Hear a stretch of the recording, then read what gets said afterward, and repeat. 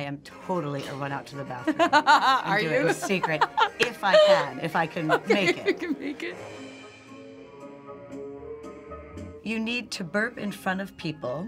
Okay. Do you cover your mouth or just belt it out? No, cover my mouth. Lady. Lady. My turn? Sure. All right. Alrighty, ready? Yes. I want to know the truth. Like, fully. I swear on my honor. You need to fart. Oh, Lord. Okay. Do you do a silent and deadly one? Hmm. Or do you run out to the bathroom and do it in secret? I am totally a run out to the bathroom. Are and do it in secret, I can, if I can make it. can make it. And then if I can't, silent but deadly. It's gotta but be by the way, can you choose for it to be silent? Like, no. who's got control you just, over you that? just clinch really Yeah, hard okay. and hope, and hope for the best. Got it. So that's probably somewhere in the middle of Lady and Ladette. Desperate times. Do you prefer watching sports or going shopping? Oof. Watching sports. What? I never thought you'd say that. Oh, I hate shopping. I hate shopping. Are you serious? You're like the most fashion plate person I know. Oh, thank you. Face full of makeup or hashtag no filter. Hmm. No, I'm a face full of makeup girl at Mm. all times. I don't even think I'd go out to the food store without mascara on, probably. Wow. I don't think I have the concealers got to conceal some of this, you know, under a darkness. But other than that, Oh, I know your answer for this one, and it's probably the opposite of my answer. Sneakers or stilettos? ooh, what is it? One, two, three. Stilettos. I knew it. Oh, wait. I knew we'd be opposites on that one. As I sit here in slippers. Wine or beer? Wine. Wine. Yeah. Yeah, it's a problem. Jeans or a dress? Jeans. A dress. Yep. We've covered that topic. Painted nails or bite your nails? Painted. Yeah, 100%. Yeah. Okay. Uh, designer bag or tote bag?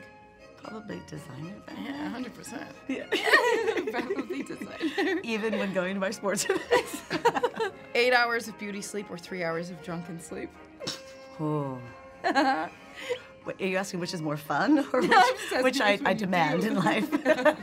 I'm gonna take three hours of drunken sleep. Oh, same. Well, the waist training is for reals. Yeah, it is. It is like we wear these things for 12 hours a day. It takes 20 minutes and two people to get each individual person into one, and they're so they're so beautiful, and they really do, um, I think, immediately pull you back in time, literally, to the confines that women were under during that time. And there's no way to escape that, knowing that the men are never wearing them, and that we have them on at all times, even when cleaning and cooking and doing housely chores. And it's just a reminder of the confines that women were under back in the day.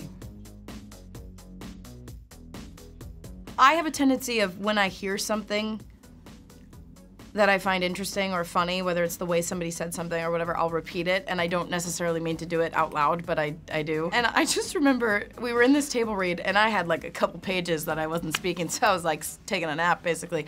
And Toby just out of nowhere goes, he was having a conversation with, with somebody else and, and basically said the word poem instead of poem.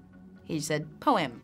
And I, I just was in such a daze, and then I went, poem. And then I just like busted up laughing. And uh, the rest of the shoot, he referred to poems. Because we as mention poems. poems a lot. She's a poet. Yeah. And so it's become the only way that everyone now says poem. But Poem. he never filmed it once without saying it his original way. And it was drive I think it drove the editors a little bit nuts because they even brought him in to try to reloop it and say poem normal. No, And he, he didn't. refused. Oh my god. Oh well, it's incredibly professional, and and something like that, you know, I think only really works if it's done tastefully. And we had an amazing director, David Gordon Green. Between him and Alena, myself and Ella, I think we created a space that we all felt comfortable in, and you know, there was nobody in there that didn't need to be there, and it was. Except I was oddly there. I'm not sure why. Were you really? Right under the camera. Oh, just making great. sure everything was good. Right. no, I was not there. I was under the bed. actually. uh, no, it, it just it was a it's a beautiful scene. It's a beautiful relationship that they have, and and uh, it was a it was a great a great day on set. Imagine it just like miraculously started raining. They're like, shoot it, make out. No, it's uh, it was a rain machine, uh, and it uh, added this element of you know fantasy. Uh, this is like it's like Jane was just saying. We we've kind of mold molded those two together, and and everything is wildly accepted, um, and in reality or fantasy. And in this case, you get both.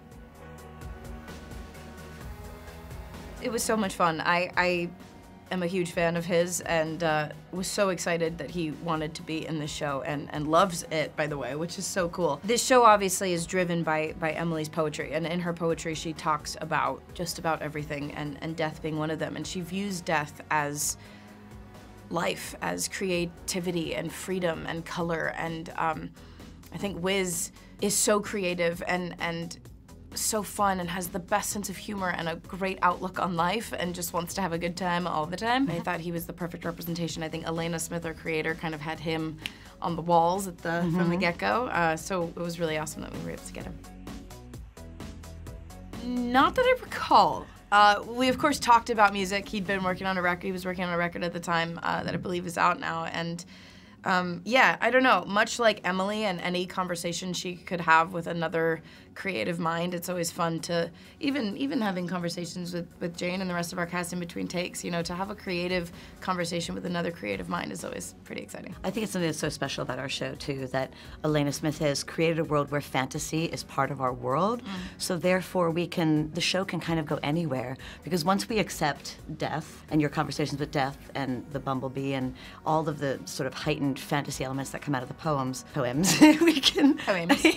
we, um, I feel like the show then can kind of go anywhere because she's opened up the world to reality and fantasy. Well, I think that this this show generally is about not putting people in a box, and it's about being seen and being understood and feeling 100% okay being unapologetically yourself.